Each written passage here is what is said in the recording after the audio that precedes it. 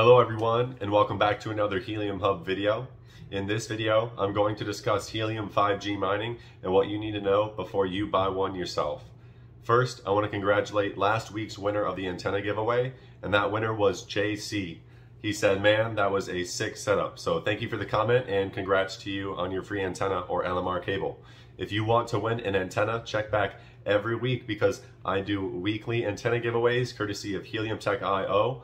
All you need to do to win is be a subscriber, like this video, and comment down below what you would want, either a 5.8 dBi antenna, an 8 dBi antenna, or an LMR 400 cable up to 25 feet. Let me know down in the comments.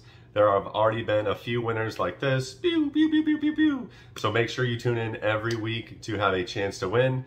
Anyway, guys, always appreciate the support and let's get right into the video. Okay, everyone, in this video, I'm gonna talk about 5G helium mining. I'm going to talk about what is 5G helium mining. I'm going to talk about what it takes to get into 5G helium mining, the profitability, and also my thoughts on the project. Recently, Bobcat just did a press release where they announced they are going to start and launch their new 5G compatible helium miner, the Bobber 500, in April 2022. And as you know, I own 10 Bobcats, so this news had me excited. So I went down the rabbit hole of 5G mining and discovered a few things that I think everyone should know about before buying one of these 5G helium miners. And that's exactly what we're going to be discussing in this video. So first starting off with a general overview of the Bobber 500 and other 5G miners. The Bobber 500 will provide wireless network coverage for IoT devices and cellular devices like cell phones operating in the CBRS band. In deploying a Bobber 500, users will earn HNT cryptocurrency by offloading cellular data for carriers like Dish Wireless and GigaSky. So for example, let's say there's a congested part of town in downtown Manhattan where there's a lot of 5G traffic. Partners like Dish and GigaSky can offload their data to 5G miners instead of using their own towers to better provide coverage and speed to their clients. So it's a pretty cool concept that could be heavily utilized in the future if there was a crowdsourced network built specifically for 5G like the Helium 5G network is trying to accomplish. And that leads me to the second point of this video, and that is what is needed to get started 5G helium mining. You see, if you scroll down a bit further down on Bobcat's website here, you get to this section, additional hardware. And under this section, it states, yes, in addition to the Bobber gateway, you will need to buy a radio certified to operate in the CBRS band. We are currently working with Freedom Fi to certify small cell radios that will be available to purchase on our website. Well, how much does one of those radios cost, you may ask? Well, on the Freedom Fi website, they estimate anywhere from 500 to $5,000 depending on radio signal strength and the throughput capabilities. The more powerful and more expensive radios will enable owners to mine more HNT. So basically, spend more money on a better radio and you earn better rewards. So overall, to get started, you will need a hotspot for $1,000, the radio with an antenna, let's just say you get a decent one and spend around $2,000, SIM cards for let's say $50, a commercial internet plan to send and receive lots of data um, for about $500 and miscellaneous things like cables and connectors for another 100. So just to start with a decent setup, it requires around $3,500. Secondly, you will need a good location in order to see any profit from these 5G helium miners.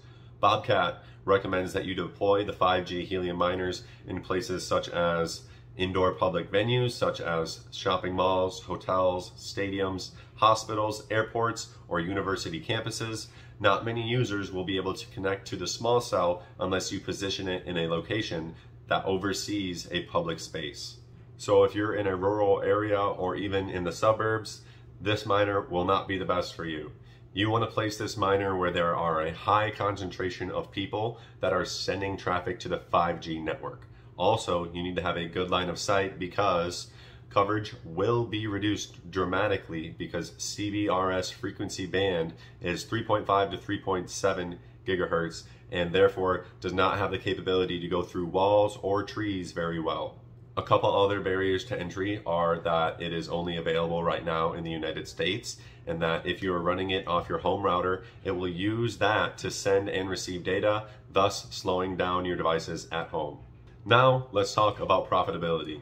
So on Bobcat's website, It says rewards will vary based on the location of the gateway, the capability of the small cell radio, the speed and reliability of your internet connection, and the number of roaming partners on the network.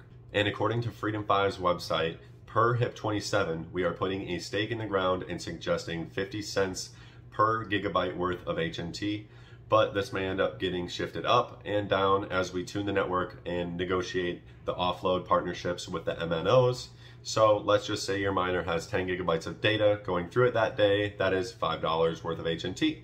If your miner is offloading data all day that day, and let's say it had a thousand gigabytes or a terabyte that day of data running through the antenna, that's $500 of HNT or 20 HNT per day at a 25 HNT token price. The amount of data that you transmit through your antenna will heavily be based on your location and the equipment you're using, so it's hard to estimate an accurate figure of how much you could potentially profit. So my final thoughts on the project. Well, as excited as I am for this project and as bullish as I am for the Helium network, I will not be getting a Helium 5G miner. I think the startup costs are just a bit too high for me and there are way too many barriers to entries for me at least.